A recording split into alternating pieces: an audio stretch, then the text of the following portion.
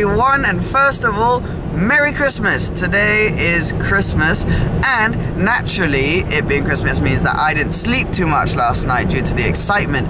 However, this year, I was the most excited I've ever been because this is the biggest Christmas I have ever had.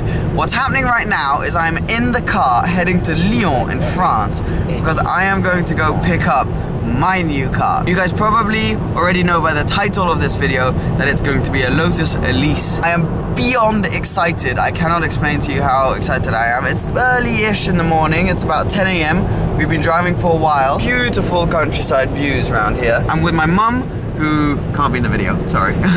but she is here driving me. And I'm just so excited to go and have the whole sort of collection process. And as soon as I pick the car up, sorry, we've got Snoop Dogg, our GPS, talking to us there in the background.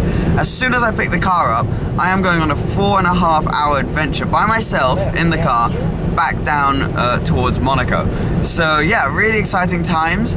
I'm not going to bore you with the whole drive there because all you really want to see is the car, isn't it? So, cue the intro and let's get to this dealership. Long drive over then and here we are. Look, lotuses, lotuses, lotuses, lotuses. And no, that is not my lotus right there. Okay, you're now going to be royally confused. Why am I now standing next to a motorway? Well, the answer to that is I went to the dealership and it was all a massive rush because we needed to get out there really quickly because I'm driving all the way back down to Monaco and I wanted to do it during daylight. We had to do all the papers, the license plate, everything. It was a huge, huge, huge rush. So I've driven a tiny bit up the road from the dealership in the car, literally a two minute drive. Um, and now I'm ready to show you the car. So, here it is. Ta-da! This is the car, people. This is the little beast that is my Lotus Elise Club Racer. So you'll be seeing loads more. I'll give you more, like I'll do an in-depth tour and everything. But just to show you briefly around the car, it's a matte black Lotus Elise Club Racer, which is really rare. I'm told only one of three in the country. Got the forged wheels, which I love. This car is used, only about 20,000 kilometers on it, so not too, too bad at all. But yes, literally just picked it up.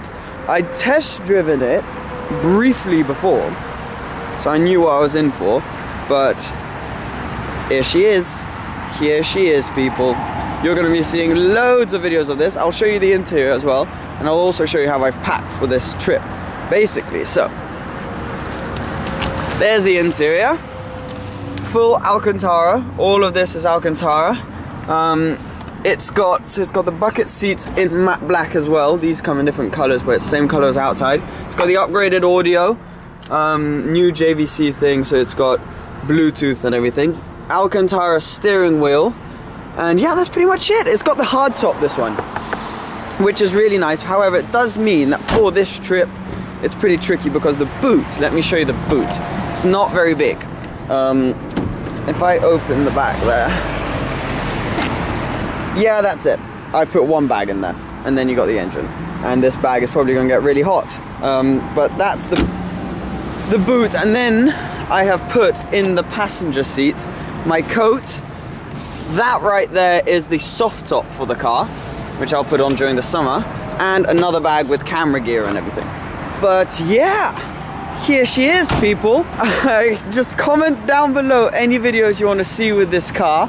Just to give you a brief um, outline of the engine and everything. It's about 136 horsepower four cylinder Toyota engine. Um, the car weighs under 900 kilos I believe so it is really really agile.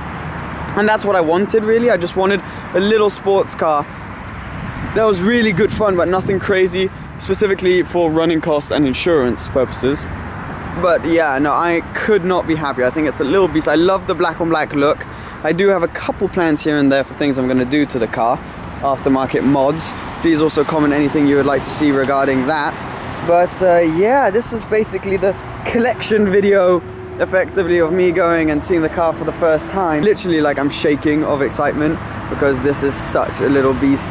And from the tiny little bit I've driven it so far, I am just so, so, so, so, so excited. I figured, why don't we hop in and get started. I'm gonna drive it basically effectively for the first time because the test drive didn't really count because I barely, barely, barely got to drive it and now I've basically driven it two minutes up the road. So why don't we hop on in and I go for my first drive in this little beast. Okay, here we go then. I am in the car, obviously. So, oh yeah, right. I've tried to turn the key, but it's a push ignition. Ho ho. Okay, my first conclusion, I'm gonna take my scarf off, of this car. First thing I felt is, this needs an exhaust. Um, ooh, switch my music off. I got my sat nav all set up and everything. Yeah! Let's do this, shall we? Into reverse, I'm like, electric windows, guys, in a Lotus. Who would have thought? Here we go, try not to stall it like Mr. Supercars of London when he first drove his car. It's true that the visibility is not the best in the world. And no power assisted steering.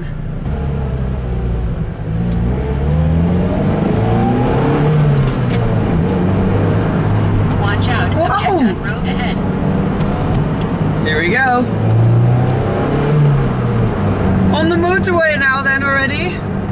And uh, I'm driving my new car. And boy, is exciting. This is fun.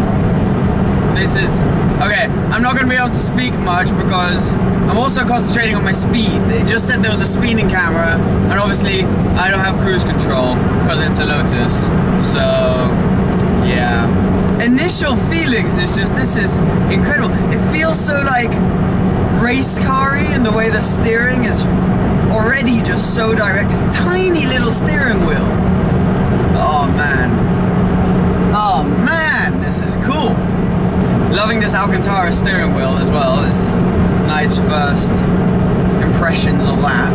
Um, but so this is it's gonna be a, a long trip. This is. It is true that there's nothing like the first time you properly drive your new car. Like I mean, obviously I haven't done it that many times, have I? But this is unreal. It's my baby. This is my new baby. Okay, You've got the first impressions, really, really, really quick first impressions I know of me driving the Lotus. I'm going to be doing another video that will be coming out maybe tomorrow or the day after. I'm not entirely sure, but very soon of this road trip. So it's going to be first road trip in the Lotus uh, and a full video of how my basically my first drive and this five-hour drive back down to Monaco goes. So stay tuned on the channel. And yeah, I just wanted to say thank you so much for all the support you guys have shown me. You've motivated me to be able to get this car, and I just can't wait to share this whole experience with you. Comment down below anything you want me to do to this car. You think it's a good choice. I'm just, I'm just so happy. So yeah, please remember to subscribe, and I'll see you soon. Bye.